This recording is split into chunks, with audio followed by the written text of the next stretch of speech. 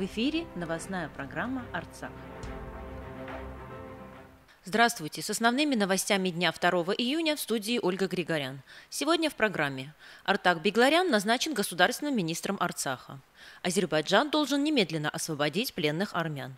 Омбудсмен Армении обратился к действующему председателю ОБСЕ в связи с армянофобскими заявлениями Алиева – Сопредседатели Минской группы ОБСЕ готовы посетить армяно-азербайджанскую границу. Президент Араи Карутюнян посетил с рабочим визитом Аскеранский и Мартуницкий районы. Об этом и о многом другом более подробно. Сопредседатели Минской группы ОБСЕ Игорь Попов, Стефан Висконти, Эндрю Шафер могли бы в ближайшее время договориться о возможности визита на границу Азербайджана и Армении. Как заявил на пресс-конференции представитель Российской Федерации при ОБСЕ Александр Лукашевич, очень важно, чтобы сопредседателям Минской группы ОБСЕ все же удалось в ближайшее время попасть в регион и на месте определить ситуацию, поговорить со сторонами уже на месте. Думаю, что такие возможности могли бы открыться в самое ближайшее время. По его словам, остро остро стоит вопрос о допусках международных гуманитарных организаций для помощи населению. Здесь тоже масса организационных деталей, которые по-разному трактуются сторонами, добавил Лукашевич. Вооруженные силы Армении не пересекали границу Азербайджана ни 1 июня, ни в предшествующие ему дни. Министерство обороны Азербайджана распространило очередную дезинформацию, согласно которой вечером 1 июня 40 армянских военнослужащих пересекли границу Азербайджана, после чего подразделения вооруженных сил Азербайджана заставили их вернуться на исходные позиции. Очевидно, что подобную дезинформацию азербайджанское военно-политическое руководство вводит в оборот с целью создания впечатления среди международного сообщества о попытках попытках вооруженных сил Армении обострить армяно-азербайджанскую пограничную ситуацию, а также в противовес провокации, связанной с проникновением вооруженных сил Азербайджана 12 и 13 мая на территорию Республики Армения. Как заявили в Министерстве обороны Армении, вооруженные силы Армении ни 1 июня, ни в предшествующие ему дни не пересекали границу Азербайджанской республики. И все утверждения по этому поводу являются дезинформацией, распространяемой оборонным ведомством этой страны, объем которой в последнее время существенно существенно увеличился. Исполняющий обязанности министра обороны Армении Вагарша Карутюнян посетил вчера пограничное управление ФСБ России в Армении, сообщает Арменпресс. В сопровождении начальника пограничного управления генерал-лейтенанта Романа Голубицкого Вагарша Карутюнян осмотрел музей пограничной службы Российской Федерации. Исполняющий обязанности министра обороны Республики Армения и начальник пограничного управления Федеральной службы безопасности Российской Федерации в Республике Армения в ходе визита обсудили вопросы, связанные с ситуацией на армяно-азербайджанской российско границы, а также разминированием которых участков границы. Омбудсмен Армении обратился к действующему председателю ОБСЕ и сопредседателям Минской группы ОБСЕ в связи с армянофобскими заявлениями президента Азербайджана Ильхама Алиева. Он уточнил, что президент Азербайджана 21 и 28 мая текущего года сделал заявление, свидетельствующее о политике армяно-ненавистничества и враждебности по отношению к армянам. Эти части заявлений были выделены и отправлены в официальном письме действующему председателю ОБСЕ, сопредседателям Минской группы ОБСЕ, а также в Комитет ООН по ликвидации расовой дискриминации, Комитет по расизму и нетерпимости Совета Европы, Верховному комиссару ООН по правам человека и другие международные организации. Президент Азербайджана в своих выступлениях говорит на языке силы и угроз, использует такую риторику и слова с целью оскорбить достоинство всего армянского народа, всего населения Армении Армении и Арцаха, создать напряженность в армянском обществе. В этих выступлениях подчеркиваются преимущества азербайджанского народа перед армянским только по признаку этнической принадлежности. Главная цель мониторинга защитника прав человека Армении заключается в том, чтобы показать политику геноцида азербайджанских властей, которая на самом деле лежит в основе грубых нарушений прав человека, в том числе в основе зверств, угрожающих миру и безопасности, отмечается в заявлении омсмена Армана Татуяна. Азербайджан игнорирует призывы. Сегодня в Баку начался судебный фарс в отношении пленных армян. Как сообщили азербайджанские СМИ, судят пленных Людвика Мкрчана и Алешу Хосурвяна. Оба участника Первой Карабахской войны. Обоим предъявлены несусветные обвинения. По данным азербайджанских СМИ, готовятся процессы в отношении целой группы пленных, общим числом 14 человек, по аналогичным обвинениям. Президент Республики Арцах Араика Рутюнян с рабочим визитом посетил вчера общины Шош и Сарушен Аскеранского района, Кармир Шука и Тагавард Мартунинского района.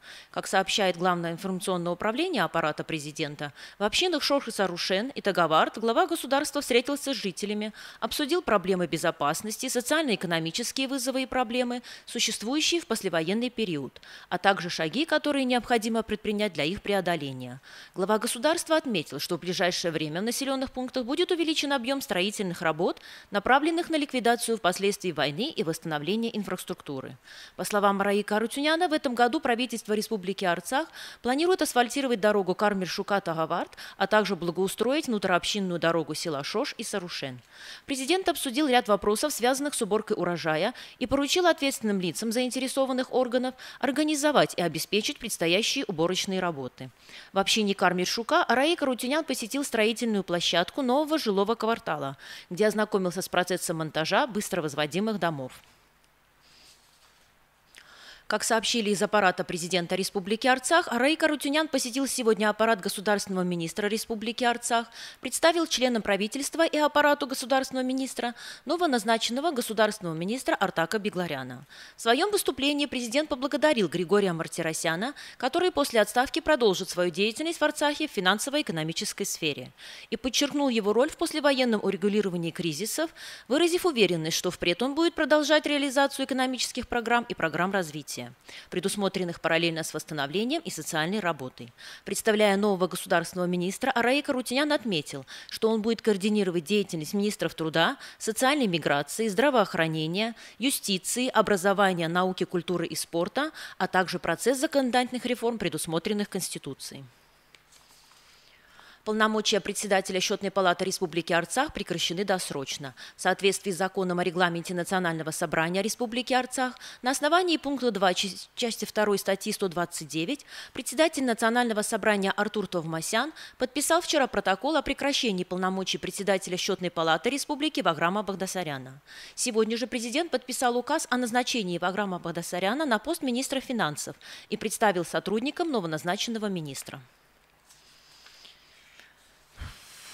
Письме, направленном в парламенте Нидерландов, исполняющий обязанности министра иностранных дел Нидерландов Сихри Каав, коснувшись обсуждения по карабахской проблеме в Совете министров иностранных дел Европейского Союза, сообщила, что Нидерланды подчеркивают важность скорейшего освобождения остающихся в Азербайджане армянских военнопленных, а также скорейшей отправки в регион миссии ЮНЕСКО по оцене культурного наследия в соответствии с резолюциями Сехерза и Фан дер Ста. Как сообщает посольство Армении в Нидерландах, эта страна подчеркивает важность немедленного отвода войск с границы между двумя странами и возвращения за стол переговоров. По инициативе Нидерландов 28 мая Европейский Союз выступил с новым совместным заявлением, в котором выражает глубокую озабоченность в связи с приграничными развитиями и подчеркивает важность ослабления напряженности. Мы призываем немедленно убрать войска с границы и отмечаем необходимость уточнения вопроса демаркации исключительно посредством переговоров. Заявление включает также и призыв к немедленному освобождению армянских военнопленных, подчеркнула глава МИД.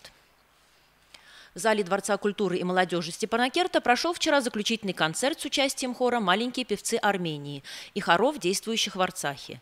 Мы привезли с собой любовь всех армян к Арцаху. С такими словами мероприятие открыл художественный руководитель и главный дирижер хора «Маленькие певцы Армении» профессор Тигран Экикян. На вопрос о том, как удалось провести этот фестиваль, он ответил – с трудом, нелегко, потому что ситуация вокруг Арцаха, политическая и военная какая-то ситуация на границах, это все очень беспокоило и руководителей и наших ведомств, и самих родителей. Было очень трудно убедить людей, что угодно Богу, обязательно все будет хорошо.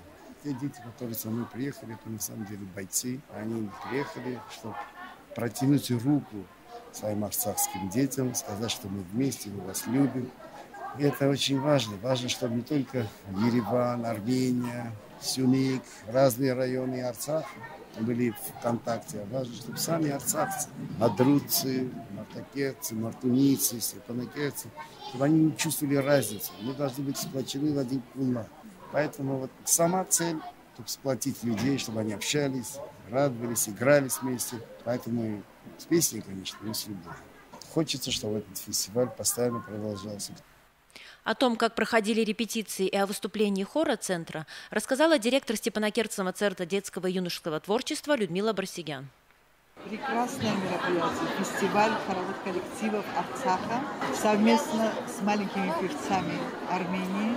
Хороший проект. Я благодарю автора этого проекта, председателя Международной ассоциации хоровых коллективов «Маленькие певцы Армении» за такую кропотливую работу. Очень трудно было собрать все хоры Республики Арцах и маленькие певцы Армении, и поместить их на этой маленькой сцене профессионально, то есть по голосам. Очень сложно было. Я присутствовала на репетиции и видела, насколько был сложный этот труд. И я сейчас горда еще тем, что Тигран Микитян, наш маэстро, вчера очень похвалил после репетиции наш хор. Сегодня день защиты детей. Сегодня для нас двойной праздник, потому что дети Арцаха совместно с маленькими певцами Армении исполняли наши армянские песни и этим бросили зов о том, что дети ждут мира. Мы не хотим, чтобы наши дети знали, что такое война. И я желаю, чтобы те дети, которые знают, пережили вот эту горечь войны, забыли об этом настолько, чтобы жизнь улучшилась у нас в Арцахе, да и в Армении. Они имеют право на счастье. Они должны жить, они должны творить, они должны всему миру показать, насколько сильные они. В начале мероприятия выступил хор Мартунинской музыкальной школы имени Арама Хачатряна. Дирижер хора Зарина Мусайлян сказала, что наши дети должны жить и петь с улыбкой на лице. Мы представляем э, Мартунинский детский хор школы имени Арама Хачатуряна. Мы участвовали в фестивале. Дети были очень рады. Все было на высшем уровне. Мы рады, что в такое время все это случилось.